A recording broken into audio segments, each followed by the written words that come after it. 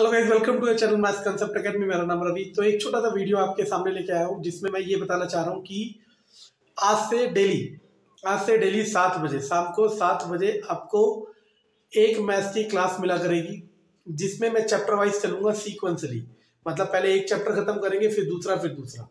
और ये जो रैंडम क्वेश्चन मैं उठा रहा हूँ, जिससे मैं आपको नई नई चीज़ें सिखा रहा हूँ, वो तो अपनी जगह चलता रहेगा।